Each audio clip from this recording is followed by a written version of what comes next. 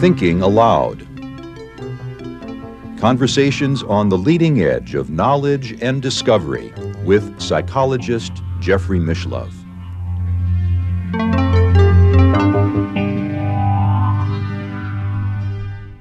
Hello and welcome. I'm Jeffrey Mishlove. Today we are going to explore the psychology of psychedelic experience. With me is Professor Stanley Krippner, who is the Alan Watts Professor of Psychology at Saybrook University Dr. Krippner is the author of numerous books in psychology, past president of numerous psychological organizations, the recipient of the Lifetime Career Award from the Parapsychological Association, and I'll bet several others as well. Amongst his many volumes of work is an anthology published by the American Psychological Association called Varieties of anomalous experience. Welcome, Stan. Thank you.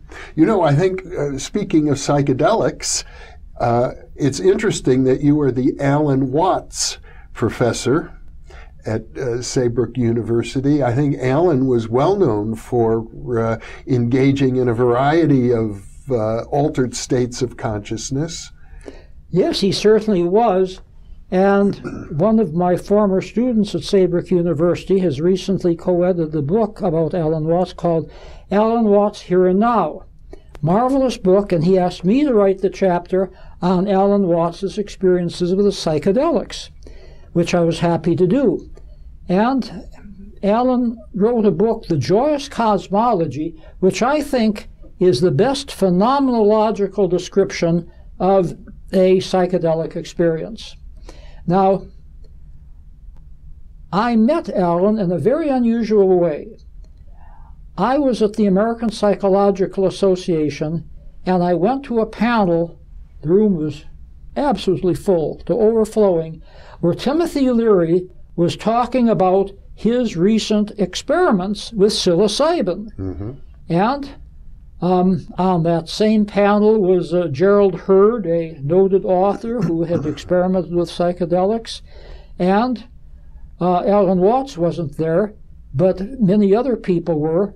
And so I quickly wrote Tim a letter saying I'd like to volunteer for the experiment. And I had a friend at, at, uh, at Harvard um, mm-hmm. Stephen Klineberg, who went on to become a very distinguished social psychologist, and he took the psilocybin experiment. And so I said, put in a good word for me. He did, and so I got invited. Mm-hmm. And so I left Kent State University for a weekend and got to Harvard and linked up with Steve. Went in for my interview with Tim, and he said, You're just the type of person who I want to have this experience, and we're uh, drawing the experiment to a close. Yours will be one of the last legal times we will have to take it. Uh, so I went to a dinner party that Tim was having for Alan Watts. Tim took a liking to me, thank mm-hmm. heavens, and he let me drive in his car to this dinner party for Alan Watts. That's how I met Alan Watts. Mm. And it was a potluck dinner. I ate something that didn't agree to me. I got back to Steve's apartment. I was throwing up all night. Oh. The next day was my interview with the facilitators. And I said, Steve, I'm not going to miss this experience. I want you to get me there half an hour. I can't even walk on my own. You put me down in the chair, and I'll be there when uh, Alan and mm-hmm. Sarah come in. Not Alan Watts, Alan Cohen. And so they came in, they interviewed me, they went through the procedure. I smiled, they said goodbye. I ran to the washroom. Steve came and took me back to his apartment where I was sick for the rest of the afternoon. He took me to the apartment of Sarah where the experiment was going to take place. Tim came in, gave us the psilocybin, and then he left to consult with the local chief of police about the legality of all of this. As soon as the psilocybin hit, all of my symptoms disappeared. I was fine for the rest of the night. I had a great mm-hmm. experience. I wrote it up. It's appeared in several anthologies. At the peak of the experience, I was in an ocean and it was very, very turbulent. I was in a little boat rocking back and forth. I thought, look, this is life.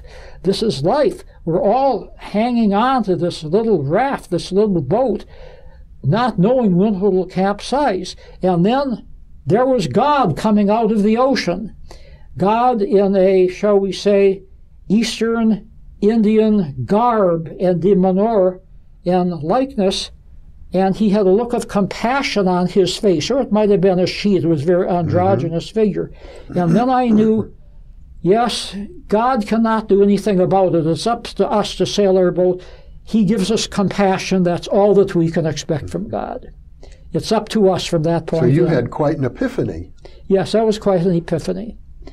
So I wrote that up, and that was the end of my experiences for a while. And then, of course, the rest is history. Tim went off on his own. His associate, Richard Alpert, went off on his own, became Baba Ram Dass. Ralph Metzner went on off on his own, became a very noted psychologist. He's celebrating his 80th birthday this year, and I'm going to be going to his party, as a matter of fact. Mm-hmm. All three of us have remained friends, despite the fact that I was very unhappy with Tim for his doctrine of uh, tune in and drop out and um, other things that he did, giving LSD fairly indiscriminately to people.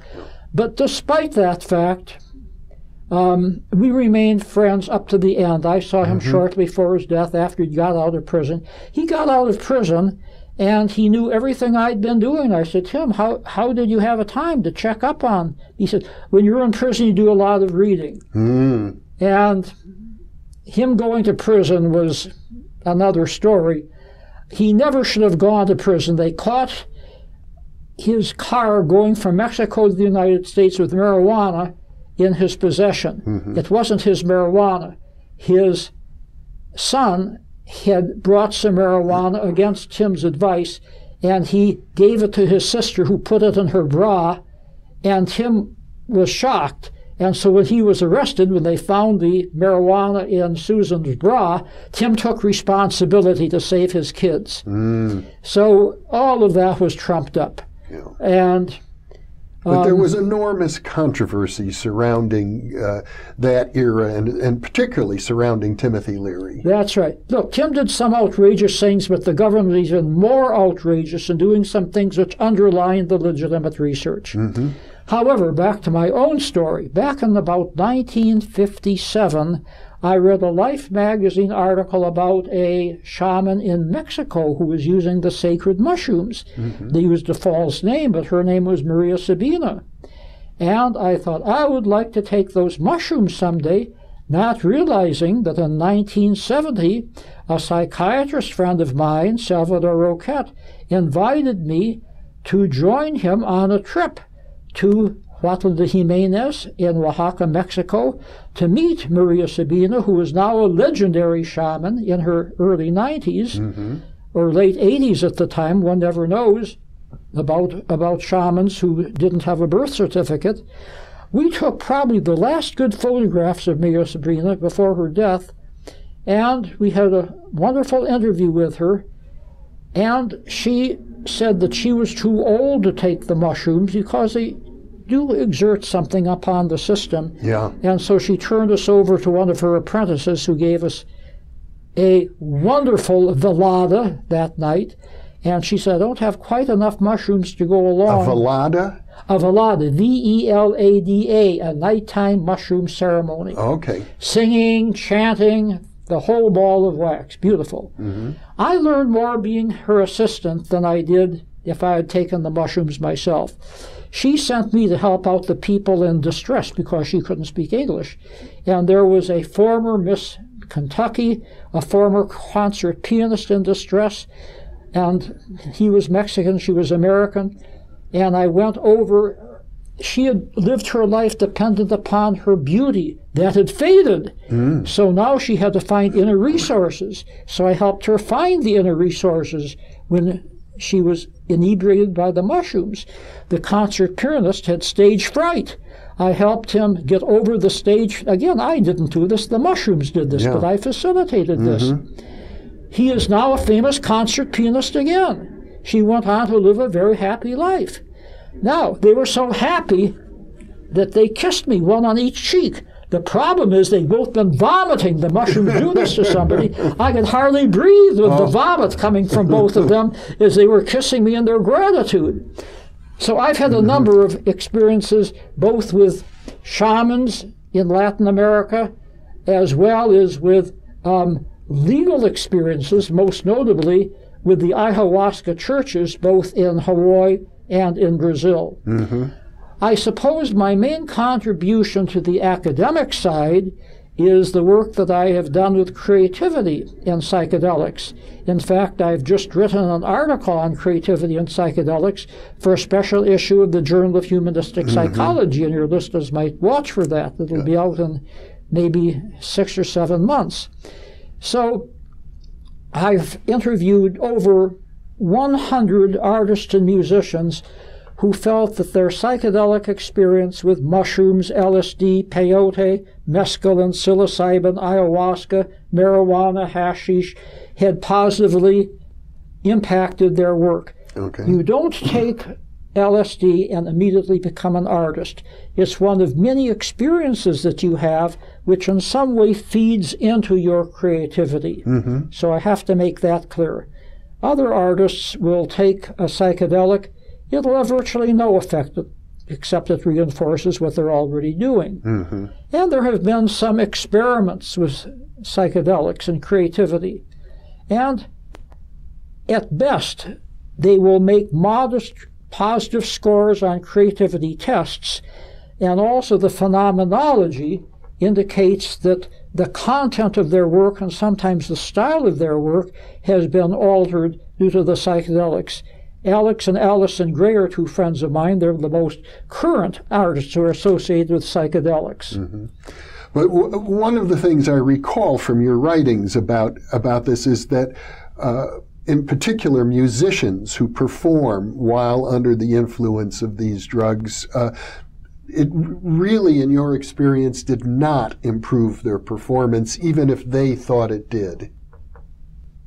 It didn't improve their performance, but they often got ideas for new types of music and new types of lyrics. Mm-hmm. But you're absolutely right. Most of the musicians I interviewed would not perform under the influence of the drugs because they found out all too soon that it did not enhance and in most cases detracted from their performance. Absolutely. But with I- visual artists, that might be different. It's a whole different experience. It Of doesn't course it is. depend on precise timing, for Precise example. timing, right. And under psychedelics, your time is wandering all over the place, mm-hmm. right. I interviewed Bob Weir, a member of the Grateful Dead, at a party in California. Last time I saw Susan Leary alive, and I could see she was going downhill. The poor girl eventually killed herself. Yes. And I spent time with her, and she was so far distant than the beautiful young woman I met at Timothy Leary's short lived marriage to a Swedish model, where she was there in high heels and a low cut gown at the age of 14, 15, and uh, flirting with me and several of the other men, very buoyant, very cheerful. Uh, sad story, but nevertheless, um, my contact with Bob Weir who I included my first article about psychedelic art and music, mm-hmm. happened to be the first academic publication where the Grateful Dead was mentioned. Mm-hmm. Later, I did a whole dream telepathy experiment with the Grateful Dead. Now, you go to the mm-hmm. University of California, which has a Grateful Dead archive, and I'm hailed as the godfather of serious academic interest in the Grateful Dead, and they have copies of those articles in the museum case. Well, you have had a long-standing association with them for many decades. Oh, yes, it was Mickey Hart of the Grateful Dead who introduced me to Rolling Thunder, the shaman I worked with for many years. It was Mickey Hart who introduced me to the other members of the Grateful Dead. I've had many very, very rich experiences of the Grateful Dead. Extremely creative group. I'm given a little footnote or a few lines in some of the biographies of the Grateful Dead. Jerry Garcia I was especially fond of, just a very, very brilliant musician and a very, very original creative person. And I have uh, never tripped with the Grateful Dead, never had psychedelics with the Grateful Dead. I've had a little marijuana with them over the years backstage, but an exceptional group of people. Otherwise, they wouldn't have an archive devoted to their creativity at a state university. Mm-hmm. Well, let's talk briefly about the dream telepathy experience because, as I understand it, you had a whole concert of people attending a Grateful Dead concert, many of them in various altered states of consciousness from psychedelics and who knows what else. Mm-hmm. And they were attempting to send, to project a mental image to a person who was asleep in the dream laboratory that you ran. Well, actually, this experiment has been written up more often than any of my other dream experiments, despite the fact it was simply a pilot study. Yeah. Because there are only six nights and to get solid statistics, you need eight nights. Mm-hmm. Jerry Garcia had the idea he said, Stan, we're going to have six nights at Port Chester, New York. Maybe we can do a dream telepathy experiment. Mm-hmm. Okay, so I designed something with Montague Ullman and Charles Honorton's help. And so every night of the performance, um, my assistant, high school volunteer, Ronnie Mastrom, would flip a coin. Heads, he would take one slide. Tails, he would take another slide and he would put the head slide in an overhead projector. Along with several other slides, suddenly the audience was confronted with a sign during this light, light show. You are about to participate in an ESP experiment. Malcolm Bessent is at the Dream Laboratory in Brooklyn, New York. You are going to see a picture. Use your your ESP to send this picture to Malcolm Bessent, and then the randomly selected slide would show on the screen. And we monitored his dreams that night. We had a control subject at home who didn't know about the picture either, and the people didn't know about her. She got simply chance results. Mm-hmm. Malcolm Bessent did get, shall we say, marginally significant results. Mm-hmm. One night, the picture by a Syrian art Australian, the seven spinal chakras, was flashed on the screen. Person in a yoga position with the seven chakras all illuminated. Oh, yes, yes. Malcolm Bessent had one dream about a man with an energy box, another dream about Eastern wisdom, another dream about the spinal cord. How much better correspondence would you like?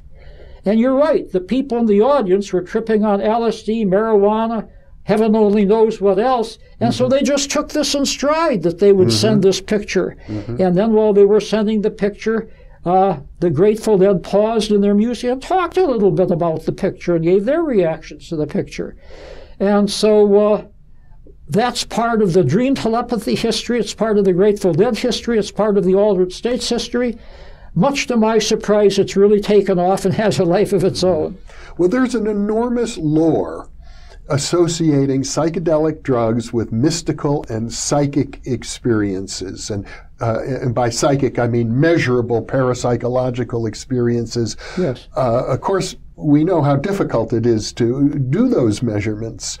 Uh, what is what is your opinion or conclusion about that? Well, your listeners can read the articles by David Luke on this topic. He's mm-hmm. written a whole review, and you're right an experiment has to be so rigid that the free flowing psychedelic experience doesn't naturally meld into what's demanded of a parapsychological test.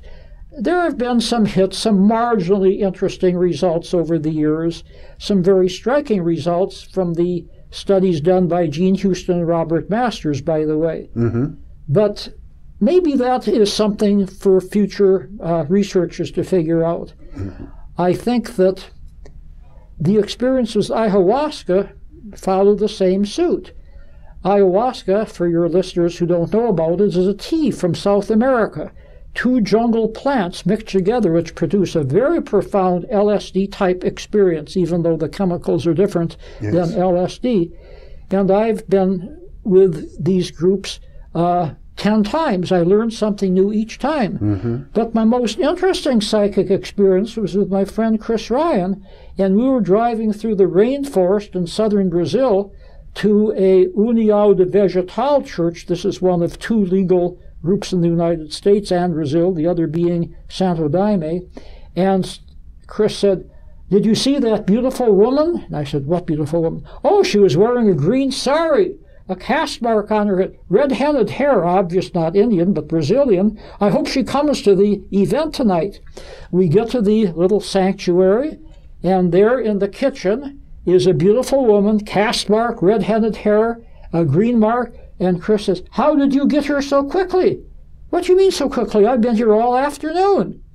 So that's the most notable precognitive experience that he mm-hmm. wasn't even on LSD yet. Mm-hmm. Well, you know, some years ago, I interviewed uh, a scholar I'm sure you're very familiar with, Huston Smith, deeply involved in psychedelic research, and he did a study comparing the mystical experiences of the great saints and mystics throughout history with the accounts of uh, people under uh, the influence of psychedelic drugs. Mm-hmm. And he determined that there was no difference. That you couldn't, in terms of the experience mm-hmm. itself, the, the mystics and the psychedelics experiences were literally identical. But the difference, he said, wasn't in the experience per se, it was in how it was integrated into the whole life of, of the person. The great mystics took those experiences and it changed their lives. They built a whole life around it. And that's not always the case with people who use uh, recreational drugs. No, I agree with Huston right down the line. Um, I've read all of the literature, and I think a person can have a valid mystical experience, however you want to define that, a feeling of mm-hmm. oneness, a feeling of love for humanity, a feeling of union with God, etc. Yes, through psychedelics. This is a minority of people who use psychedelics, by the way, and there's no assurance that the psychedelics will give you a mystical experience. But more important is what they do with that experience. And if they integrate that into their life, then the vision becomes incarnated. If they just use it as gossip or as casual conversation, they haven't learned anything mm-hmm. from it. So the proof of the pudding is pudding is in the tasting of it. Mm-hmm. It's walking your talk. And I think that's the ultimate way that you can evaluate a mystical experience, whether through psychedelics, prayer, yoga, meditation, walks in nature, whatever, what you do with that experience that makes you a better person and what makes the world a better place. Well, you've had a career as a psychologist and a parapsychologist, a teacher and a researcher primarily.